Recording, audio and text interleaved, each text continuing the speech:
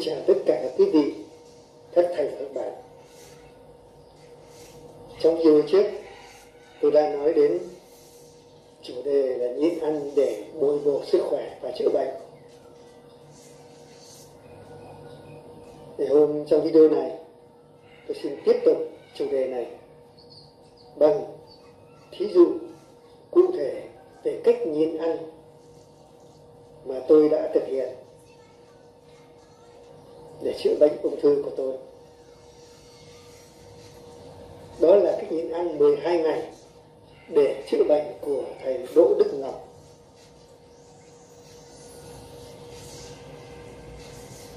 Vậy thầy Đỗ Đức Ngọc là ai? Thì tôi xin giới thiệu, thầy Đỗ Đức Ngọc là người sáng lập ra khí công y đạo và đã dạy ở Sài Gòn từ năm 1980 và đến năm 1993 thì thầy Đỗ Đức Ngọc sang định cư tại Canada và tiếp tục giảng dạy khí công y đạo. Ở bên đó, từ đó cho đến nay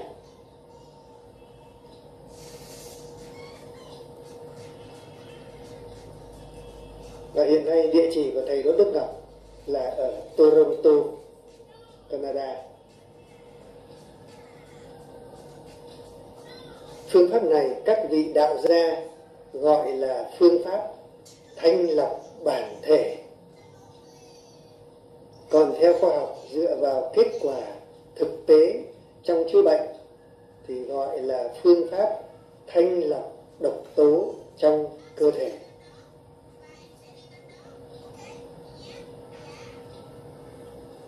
Năm 1983 khi tôi chuyển vào sống tại Vũng Tàu tôi thường đến Thích Ca Phật Đài là một quần thể kiến trúc Phật giáo lớn và cũng là một địa điểm du lịch tâm linh nổi tiếng của thành phố biển Vũng Tàu. Nằm ở sườn núi lớn, ngôi chùa nổi bật với pho tượng Thích Ca Mâu Ni nằm lưng chừng núi. Năm 2013, thấy tôi gầy yếu, mang bệnh ung thư đại tràng. Một vị sư trong chùa đã hướng dẫn tôi cách nhịn ăn 12 ngày của thầy Đỗ Đức Ngọc để chữa bệnh. Lúc đầu tôi hơi sợ, Sức khỏe của mình không đủ sức chịu đựng. Trong thời gian nhịn ăn lâu đến 12 ngày như thế. Nhưng vị sư huynh nói, Các sư ở đây vẫn thường dùng phương pháp này mỗi năm hai lần. Lần thứ nhất, Bắt đầu vào ngày nhập hạ dầm tháng tư. Và lần thứ hai bắt đầu vào ngày mãn hạn tức là ngày dầm tháng 7 kết quả là các vị sư huynh càng ngày càng trẻ và đẹp, khỏe mạnh, hồng hào so với tuổi, và không bao giờ bị bệnh tật. Nên tôi cũng bớt sợ và tin vào kết quả của phương pháp này. Hơn nữa sau khi phẫu thuật ở bệnh viện trợ rẫy, Sài Gòn, tôi bị chuyển sang bệnh viện ung biếu để hóa trị và xạ trị tiếp tục. Tôi không sang thì các bác sĩ nói chỉ sống thêm được 6 tháng nữa thôi. Tôi nghĩ, thôi, đằng nào cũng chết. Thử nhịn ăn 12 ngày, rồi ăn chay ăn chay và tập khí công xem sao. Tôi cũng như mọi người thường nghĩ chắc khi nhịn ăn, cần phải nghỉ ngơi, tĩnh dưỡng để khỏi mất calorie. Nhưng ngược lại, các sư huynh lại khuyên tôi vẫn nên tiếp tục đi bộ lên đỉnh núi lớn ngày hai lần sáng và chiều. Chỉ khác là khi đến giờ ăn thì uống nước. Và khi khác cũng uống nước. Khi thèm ăn cũng uống nước. Mỗi ngày uống từ 4 đến 6 lít. Một loại nước pha chế đặc biệt, không phải là nước sôi để nguội. Thành phần pha chế của một lít nước như sau một lít nước nấu chín, để nguội. Pha vào 3 đến 6 quả chanh. Với đường ngọt vừa đủ. Công thức pha chế thế nào cho hợp với mình, để đừng chua quá mà cũng đừng ngọt quá. Cứ thế áp dụng cho 4 lần hay 6 lần trong ngày. Những người bị rét bao tử thì cho bớt chua tăng ngọt hơn. Để khi uống thử bao tử không có phản ứng, khó chịu là được. Hoặc những người có bệnh tiểu đường thì pha bớt ngọt đi. Nhưng khi uống không có cảm tưởng là bị ê răng là những dung dịch pha chế hợp với cơ thể của mình đấy. Cách uống khi đến giờ ăn cơm, uống một ly 250 cc nửa giờ sau, uống tiếp một ly nữa. Và nửa giờ sau nữa, lại uống thêm một ly nữa. Đấy, tức là mỗi một bữa ăn cơm thì là uống ba lần. Mỗi lần một ly như thế là ba ly. Và bốn bữa ăn sáng, trưa, chiều, tối thành ra tất cả là 12 ly, tức là 3 lít. Còn 1 đến 3 lít nữa thì để uống vào khi cảm thấy khát mỗi lần nửa ly.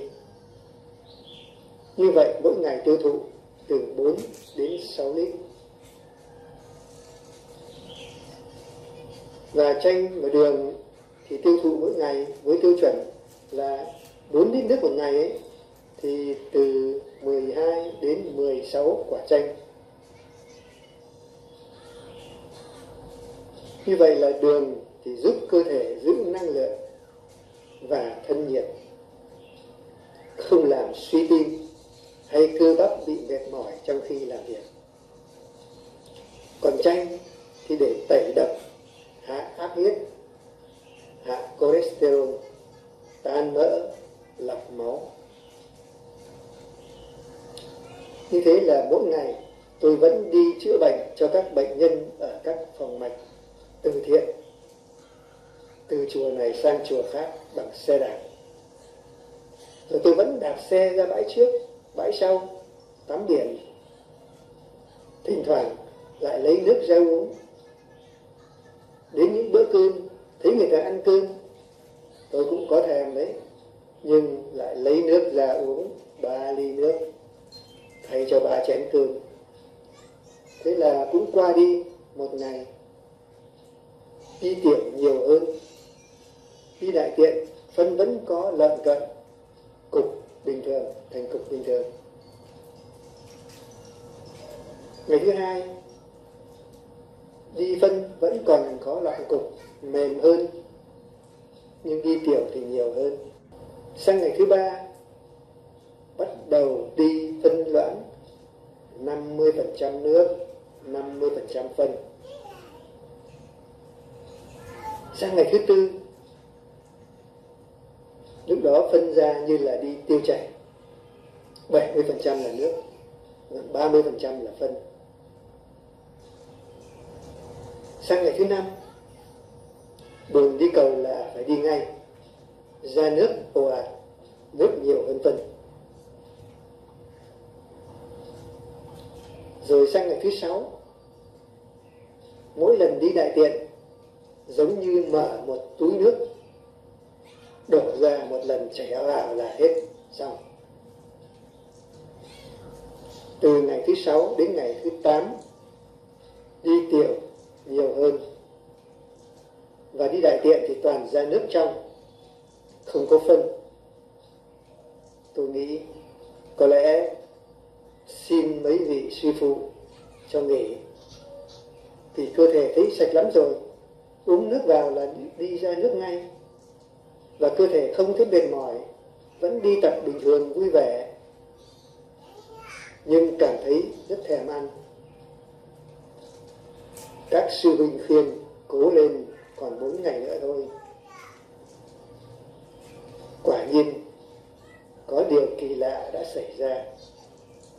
Ngày thứ chín, tự nhiên hơi đau lâm dâm trong bụng. Và mắt đi đại tiện, liền ngưng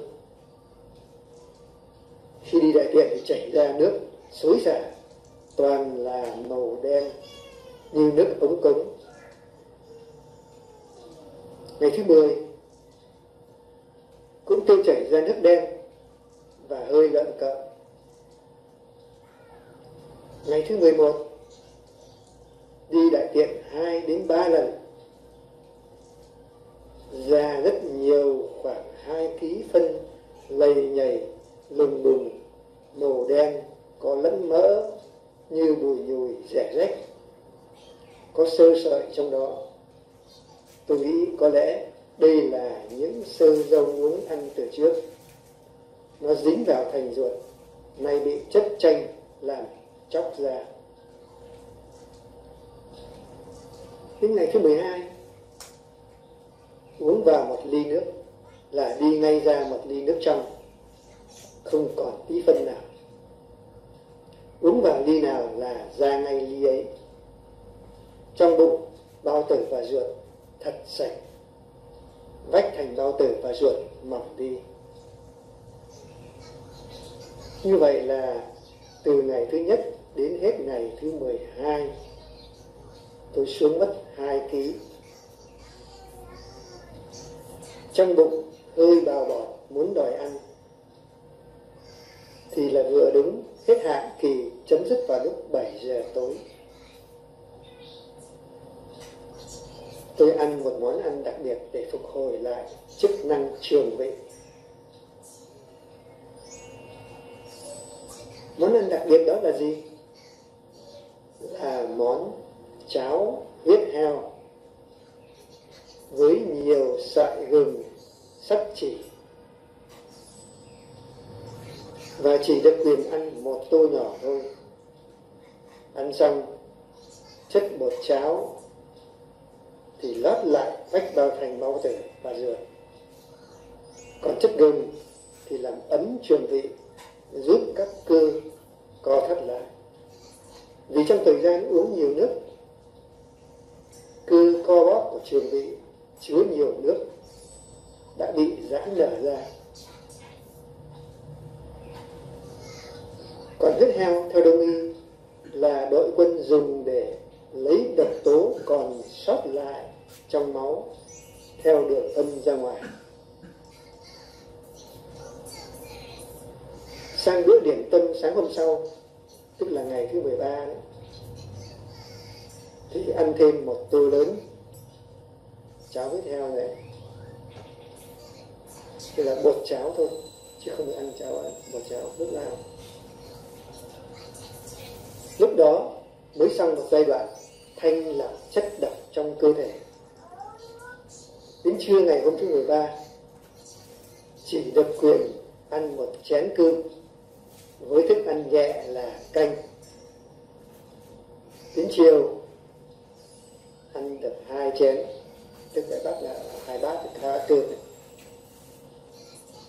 Sang ngày hôm sau, ngày thứ 14 ăn trở lại như bình thường. Ba chén cơm với canh, thịt, cá, sau đó ăn uống như thường lệ. Cơ thể lại phục hồi trọng lượng như cũ, nhưng thần sắc hồng hào, khỏe mạnh hơn, nhiều năng lượng hơn. Ăn rất ngon miệng, lục phủ ngũ tạng đều được thanh lọc hết chất độc, không còn những biếu mỡ.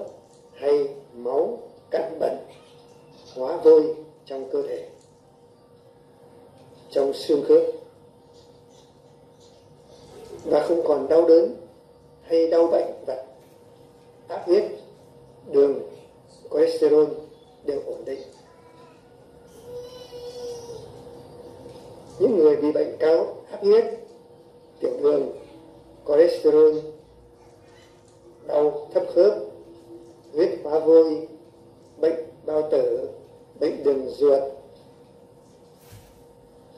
bệnh gan thận bệnh ung thư đấy, như ung thư của tôi là ung thư đại tràng đấy thật ra đấy nếu áp huyết không bị quá thấp có thể áp dụng phương pháp này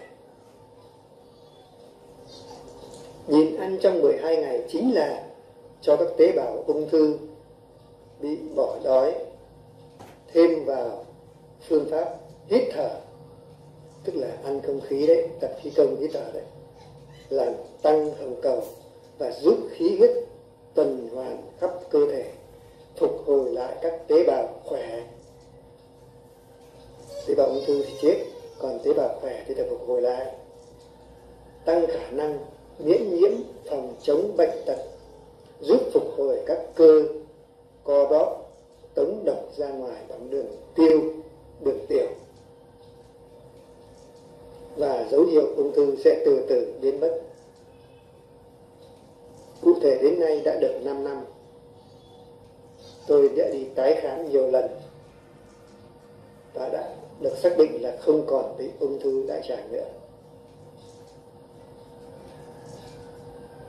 Nhưng chú ý, phương pháp này không áp dụng được cho người áp huyết thấp và bệnh thiếu máu nhé. Nếu huyết áp huyết đã thấp và đang bệnh thiếu máu thì không được dùng phương pháp nhịn ăn. Đây chỉ cho như người mập, người béo, người có bệnh nhưng mà huyết áp cao, nên nhớ như vậy nhé. Xin tạm biệt cả quý vị, các thầy, các bạn. Xin hẹn đến video sau.